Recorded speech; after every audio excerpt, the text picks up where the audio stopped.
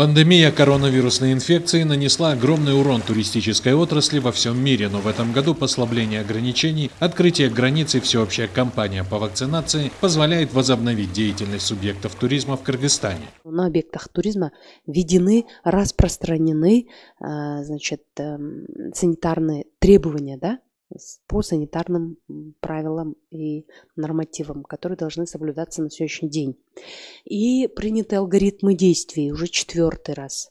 Да? И самыми актуальными сейчас, вот вы знаете, все мы вакцинацию проходим, и мы э, советуем всем туристам тоже проходить вакцинацию, не только туристам, но и нашим сотрудникам, которые сейчас непосредственно занимаются и работают, значит, э, общаются да, с туристами. Также отмечается, что туристический потенциал Кыргызстана реализован всего на 20%. Сегодня предприниматели, работающие в сфере туризма, предлагают множество разнообразных возможностей для туристов. Особенно в условиях пандемии Кыргызстан может стать идеальной страной для восстановления здоровья после перенесенного заболевания. Кыргызстан – идеальное место, где можно восстановить организм в пост пандемию, да, то есть это рекреация, полная рекреация организма, есть э, несколько видов у нас рекреации, да.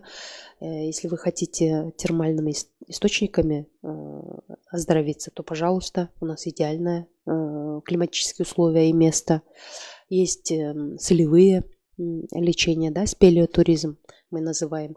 Есть, значит, грязевые лечения, да, которые в комплексе помогут минералы наши воды, термальные источники помогут полностью оздоровить организм. Традиционно в Кыргызстан приезжают туристы из стран СНГ, это Казахстан, Узбекистан, Россия и другие. Всего с начала года, по данным департамента, страну посетило около миллиона иностранных туристов. Но, как отмечают в департаменте, фактически туристов гораздо больше. У меня такое ощущение, что вся Европа сейчас, да, вот э, потянулась к нам, потому что мы сейчас работаем, а, значит, на местах даже с контроль, на контрольно-пропускных пунктах даже. 16 июля, а, значит, мы расширили 33 страны, да, сейчас могут к нам прибывать 67 стран. Почему они хотят наземным путем? Потому что у нас а, Центральная Азия очень такая локация, да, где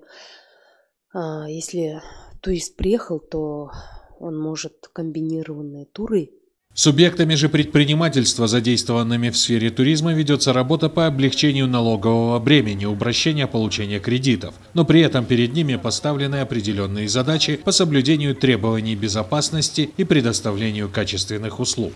Нурбек Иманов, Бекджан Токтусунов, Алато 24.